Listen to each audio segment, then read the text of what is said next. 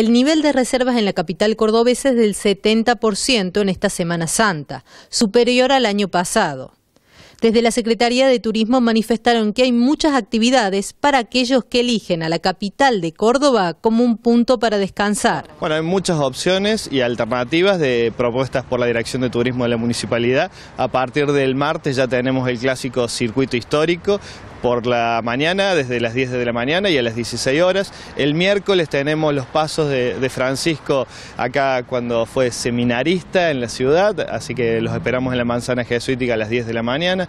El jueves tenemos el clásico circuito interreligioso, también una propuesta muy linda para todos los que quieren adentrarse en otros cultos de la religión del mundo, ¿no? Realmente muy importante, en un marco de siete cuadras pueden visitar distintos templos de, la ciudad, ¿no?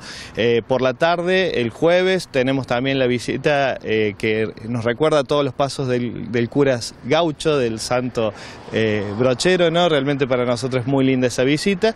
Y bueno, viernes y sábado tenemos los clásicos ascensos al, al campanario de la catedral, también que dan un marco muy importante para ver las ciudades de esa altura, ¿no?